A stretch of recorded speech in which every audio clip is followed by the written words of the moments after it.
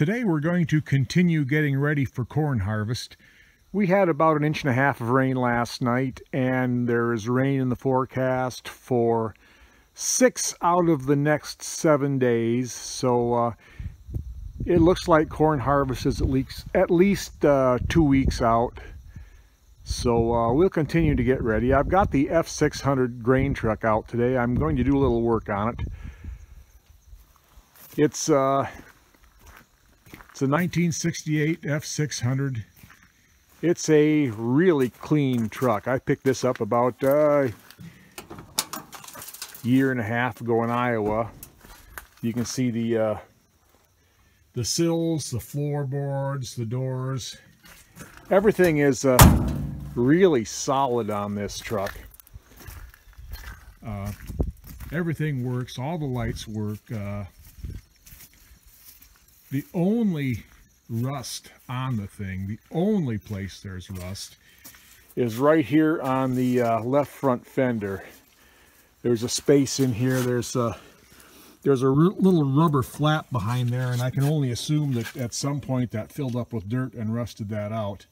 But uh, like I said, that's the only rust on the truck. So I'm I'm thinking one of my projects this winter might be to uh, pull the fun, pull the fender off this thing and weld a patch on there and patch it up because that's that's really it. Otherwise, uh, uh, really solid. Uh, underneath the floorboards are just pristine. But anyway, what I'm going to do with this, uh, the brakes work really well on this truck, but the master cylinder leaks. It leaks uh, leaks a little bit of fluid down into the uh, and the floorboard. So I'm going to uh, put a new master cylinder on this. Uh, all of the steel brake lines appear to have been replaced fairly recently, except for one, the one from the master cylinder down to the uh, to the booster cylinder, and I'm going to replace that one. I'm also going to replace the rubber uh, brake hoses, the one that goes from the frame to the rear end, and the two that go from the frame to each front uh, to each front wheel. They look to be the original ones and uh, if that's the case, they're 50 years old and they need to be replaced. So I will feel a lot better when I get those replaced. Uh, a couple, a couple of other things. Uh, I'm going to do the uh, the. Uh, I'm going to tidy that wiring up a little bit. Uh, you can see that's uh, it's a little bit messy. I'm not even sure where all of it goes. I'm going to trace some of it down and, and tidy it up.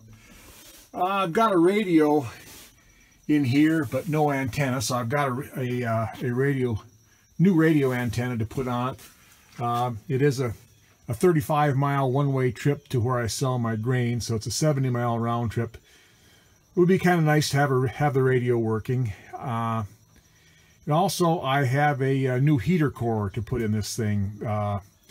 Uh, Whereas last year I was hauling grain in December when it was in the, the temperature was in the teens and 20s and uh, the the heater was only eh, kind of lukewarm. So uh, for one thing, it would be nice to be more comfortable. And for another thing, it would be really good to have defrosters that work better on this thing. So, so I'm going to pull the heater box off it and put a heater core, put a new heater core in it. They're not expensive.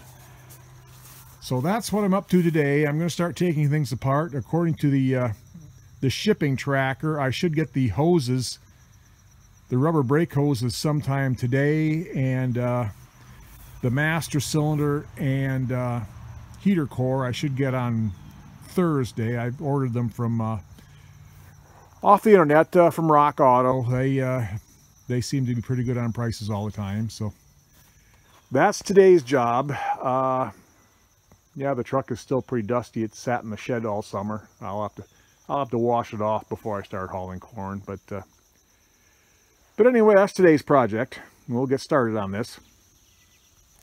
I was able to clean up some of the unnecessary wires that were there uh, underneath the dash.